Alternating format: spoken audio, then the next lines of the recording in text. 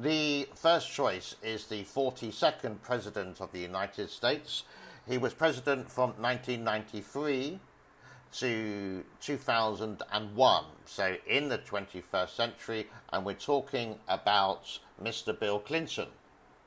Now, Clinton left office with the highest end of office approval ranking of any US president since World War II.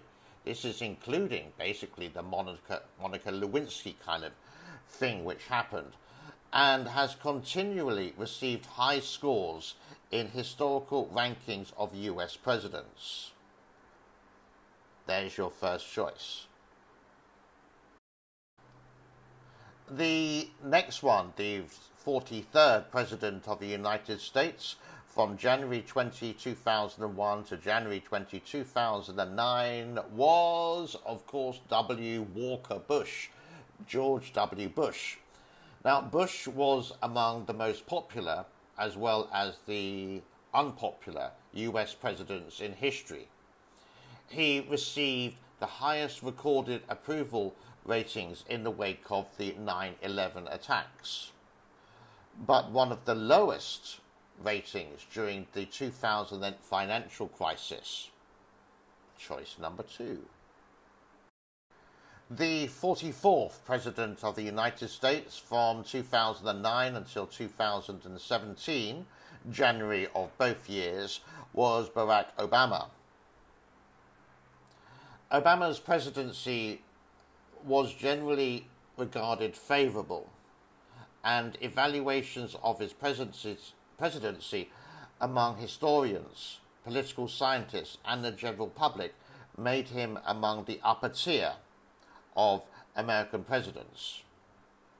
He left when Donald Trump took over, but he continues to res- reside or live in Washington, D.C. That is your third choice. And your final choice is the 45th President of the United States, Mr. Donald Trump, January the 20th, 2017, until the present day. Where do we start? Well, Donald Trump uh, said that he wanted to drain the swamp. Well, he certainly drained something.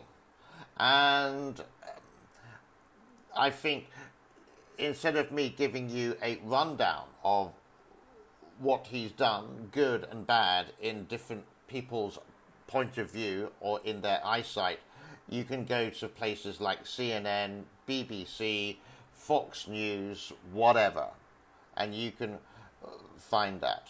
Some examples that I could say he started off his presidency with an order on travel bans on several Muslim majority countries.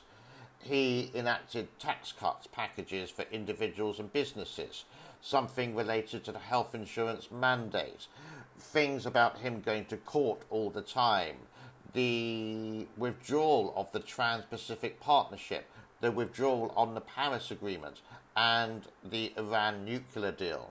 The list goes on. Is he the best president so far of the 21st century? That is choice number four. So, which one do you think it is? Is it Bill Clinton? Is it George W. Bush? Is it Barack Obama? or is it uh, is it the present president of the United States, Mr. Donald Trump? Have a wonderful day. Be good to each other. Bye bye.